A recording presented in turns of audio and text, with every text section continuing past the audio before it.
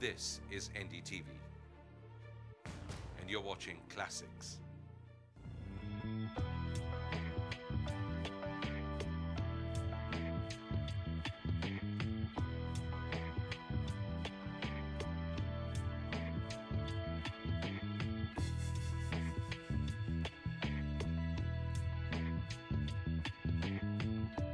In this very competitive world, if you're laid back, it would be very easy for you to be laid off. But how easy would it be for you to find your next job? Let's find out as we spend the day with the CEO and co-founder of Naukri.com, Mr. Sanjeev Bikhchandani.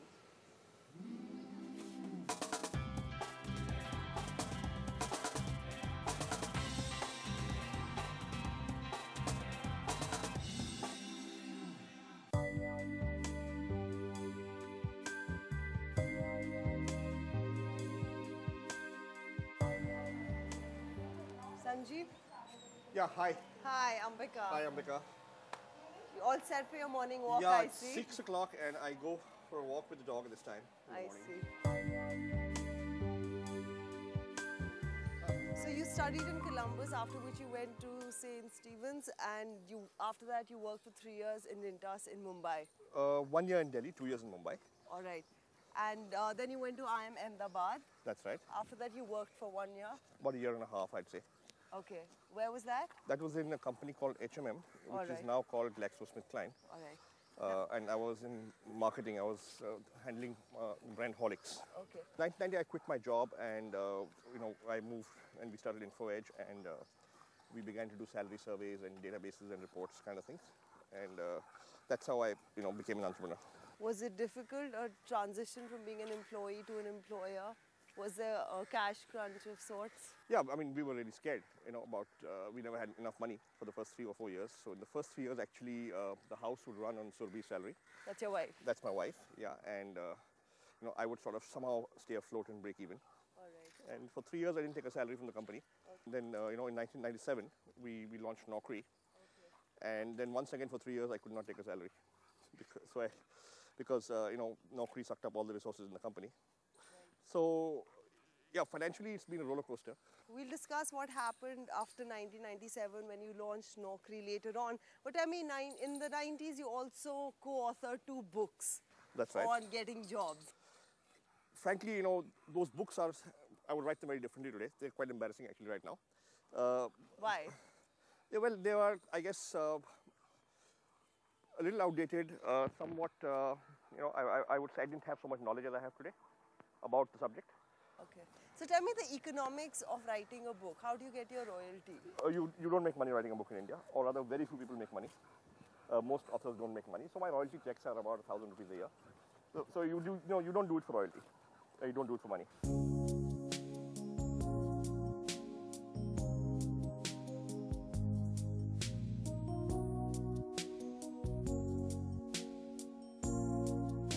After his walk, Sanjeev is all dressed for the day and currently having breakfast. That's my wife, Surbi. Hi. Nice meeting you. Hi. Sit here. So when is it that the two of you met each other? Well, uh, in IIM Ahmedabad, that was in 1987. I see. We were both studying uh, for our MBA program, and uh, I had gone there after working for one year, and Sanjeev had gone there after working for uh, three years. During our morning walk, Sanjeev was telling us that in 1990, when he started the business and the cash flow wasn't enough, you were actually running the house. Well, uh, I was working in Nestle at that time, so I mean, I guess it did help. When you look back, do you ever think uh, you should have continued to be an employee? Because right now you hear of the IM salaries, they pretty much hit the headlines because they're so high. So do you ever regret the fact that you should have continued to be an employee and not really become an employer? Truth is that corporate salaries were not very high, you know, in the 90s uh, as they are today. Uh, so even if you're a struggling entrepreneur, you were losing uh, as compared to what you would have earned in a job, but you were not losing that much. Uh, the average salary of our class when we finished IM, uh, the average salary was about less than 4,000 rupees a month. It was about 44,000 per annum. So 1997 is uh, when you started Naukri.com. And uh, during the whole uh, IT bust, I believe you worked with Pioneer for a while. Mm, I worked with Pioneer before we took venture capital. Okay. from around 96 to 2000. Uh, basically, when we launched Naukri, uh, you know, the company could not afford to pay me a salary. And, uh, you know, I was interested in writing anyway. I'd already written two books. And uh, so Chandan, uh, you know, called me and said, look, we are launching a career supplement uh, called Avenues. You are in the careers business. Would you like to be a consulting editor? So I gladly accepted because I liked the work, because I needed the money, because the company could not pay me a salary. And so for four years, I worked as a pioneer.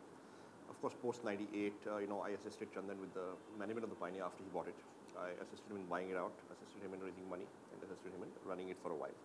2000, I moved back full time to Naukri. So uh, what I would do is that I would, you know, for about three years, I was doing two jobs. Uh, I would, um, you know, spend about six, seven hours a day in the Pioneer and about another seven, eight hours a day in Naukri. So I was working about 15, 16 hours a day for about three years. So uh, it was difficult in one sense, but uh, it would be impossible right now because Naukri has grown so big. How big is it now? Right now we are over 900 employees. We have 40 offices. We um, I did a turnover of 84 crores last year and uh, 45 crores the year before that. So we are growing at a fairly fast rate. Now, you recently did have a venture capitalist from the Silicon Valley investing in the company. Can you give us some details of that deal? Uh, our first round of investment came from ICICI in the year 2000 when they invested 7.3 crores and took a stake of 15% in the company. Uh, we've recently closed a round with uh, Kleiner Perkins and Sherpalo Ventures. Uh, they are investors in Silicon Valley, and you know we do look forward to uh, their operating expertise, uh, you know, in, in helping us build a bigger company, uh, running bigger websites, because they do have experience with helping companies like Google, like like Amazon, and so we hope to profit from their experience, and we hope to gain from their networks. What would be our first stop after breakfast? First after breakfast will be my cabin in the office.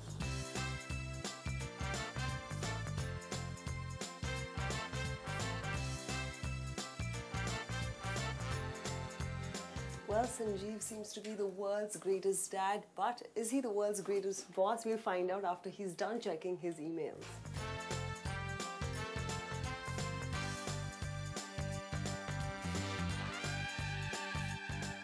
Now, how would you say you are as a boss? Uh, are you a great boss or are you the Hari Sadhu kind of a boss?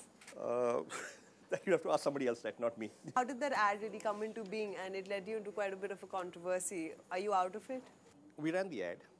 We got a complaint from a gentleman who's uh, in Chandigarh um, who said his son is being teased in school because of that. The son's name is Hari Bhanot. In that letter, he said that uh, either remove or modify the ad or we will take legal action. I'll go to the media also. So we replied to him, but before we replied, uh, before he received that letter, uh, he sent us a legal notice and he went to the media and the whole controversy was created. Then we issued our response officially as a press release, and then that got covered, and that's how the controversy happened. Uh, however, they have not filed any case, and it's now been several months. Uh, I don't think uh, there was really an issue. Uh, it was perhaps an overreaction. When we started doing business with FCB Ulka, which is the agency who created advertising, uh, we gave them a lot of data about job seeking, careers, job seekers, customer, who, what, all sorts of data from all over the world. Now, there was one nugget of information which said that 80% of people don't leave companies, they don't leave for salary, they don't leave for challenge, they leave their bosses. Let's face it, everybody's had a bad boss. And every boss is also somebody else's subordinate, or has been at some point in time. So, this is the kind of theme that, that everybody can relate to. And we figured that if you allow a job seeker to, in a humorous situation, to relive his fantasy of getting back at his bad boss, you know, it'll be a memorable ad, it can be a funny ad. All right, now you are in the business of uh, human resources. Would you say people are born leaders or do they become leaders? No, I would say that uh, it's mostly becoming leaders. You've got to work at it. It works, comes from experience. Naturally, there are a few instinctive abilities of relating to people, but even those, I guess, you learn as you go along in school and college. And when you start working, you perhaps learn about it a little bit more. But I would say leaders not born. I mean, you become a leader. So you wouldn't say there's something called a natural leader who has natural leadership qualities. What appears to be natural has probably been acquired over the years. Right. And uh, getting the right job, is it uh, luck, destiny, being at the right place at the right time, or hard work? It's obviously both. I would say keep on trying. If you're in the right place, you know, if you're, if you're in enough places enough times, working hard, chances are you'll be in the right place sometime. Sometime, okay. And uh, now we are here in your office right now. This is a very interesting looking wall. How did it come about? Oh, uh, you know, in the year 2000, shortly after we got funding from ICICI, we rented this building um, and uh, we hired an, uh, an architect for the interiors, uh, Ram Joshi, a friend of mine. And uh, we came out with the idea that, uh, you know, we should do uh, Hindi movie dialogues as graffiti. So we gave it to the architect that, look, what if we do this idea? And he said, great idea. Let's work on it. And he developed it further and said, we'll hire an artist to visualize it. Right. And so six, seven, you know, of, of my colleagues, uh, we all got together. We thought of about 50 or 60 dialogues from various Hindi movies and prepared a list, gave it to the artist. She came in on a weekend. She took the lines she, could, she liked and she visualized them and she painted over a weekend. Right. Which ones are your contributions? Which dialogues are yours? Uh, that one, Mere Paas Maa Hai. Uh, now, Sanjeev, you have 39 outfits in India and one in Dubai. Going ahead, what are your expansion plans? We are definitely, in fact, looking at, uh, currently evaluating at the evaluation stage of looking at other markets. Uh, and in fact, I'm headed for a meeting for that just now. So if you want, you can join me. All right, sure.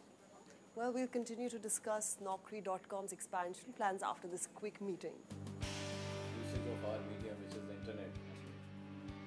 That, and the other thing is the business environment, the, the regulatory and the business environment. Because uh, I'd like to meet Sudhir Bhargav. Hi. Uh, and Sudhir works with Amrish, and Amrish is our CFO and uh, director and co-promoter. And uh, Amrish has been with us since the year 2000, uh, shortly after the ICICI investment. And he's the guy who saw us through the meltdown and uh, all those two, three years of heavy cost control and things. So you budget for just about everything, including things like this flower arrangement here? yeah, I was just in fact thinking to myself that you know these flowers aren't us, and the reason is I think uh, over a period of time we've sort of uh, fitted into a culture which is more sort of cut and dried, if I may just use the term. So uh, we are a fairly uh, you know, a company which, in, in a sense, you could call it a traditional. Certainly, a person walking from outside might believe that we are traditional in our uh, work style. Well, Sanjeev is busy in the meeting and we're going to catch him after he's done with it.